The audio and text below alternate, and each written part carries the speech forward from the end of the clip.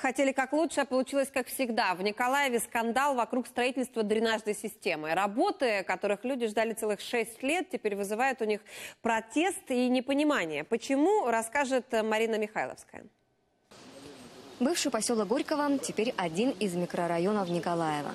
Много лет дома здесь подтапливали грунтовые воды. В 2012-м местные власти наконец разработали проектную документацию на строительство дренажной системы. А вот деньги появились только в прошлом году. И за это время ситуация изменилась. В 2012 году закончилась постройка дренажа в Широкой Балке э, города Николаев. И это с 13 начала 2013 года проблема эта ушла совсем. То есть воды грунтовой нету. Есть колодцы, глубина 6 метров, сухо. Но чиновники учитывать это, видимо, не захотели и провели повторную экспертизу. Объявили тендер, выделили почти 14 миллионов гривен и осенью начали строительство. Однако из-за плохой погоды работы приостановились.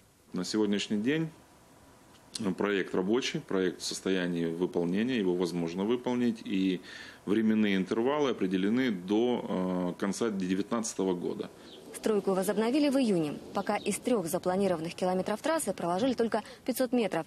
На этой улице работы вроде бы закончили. Канаву засыпали, а вот до асфальта дело не дошло. Дощ, болото, все нам вийти ніяк. Ми по уха в грязі ходимо. От. Хто нас питав до Нового року, коли вони влізли, Бог зна куди, попровалювалося все.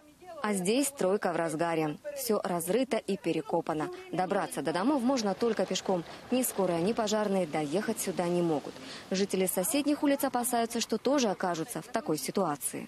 Мы засыпаем улицу за свой счет. Нам никто ни, ни дорогу не делал. Мы делали сами за свой счет воду, мы делали за свой счет газ, мы делали за свой счет улицу. И вот сейчас хотят разрыть улицу нам. Мы против этого. Подрядчики, в свою очередь, объясняют, что работают согласно проекту, а укладка асфальта или хотя бы щебня в нем не прописаны, а значит и деньги на это не выделялись. Тут написано грунт, грунтовая дорога, понимаете? То есть мы э, рассматривали вопрос заказчика, чтобы засыпать какую-то стружку или еще что-то. Но вообще это вопрос строительства дороги, это вопрос не связанный со строительством дренажной канализации. Но есть среди местных жителей те, кто за строительство дренажной системы и готовы терпеть неудобства. Уладить конфликт должна специальная рабочая группа. Ее создадут местные депутаты по решению сессии. Теперь слово за комиссией, быть дренажной системе или нет. А до тех пор все работы должны быть приостановлены. Марина Михайловская, Алексей Уманский. Подробности телеканал Интер Николаев.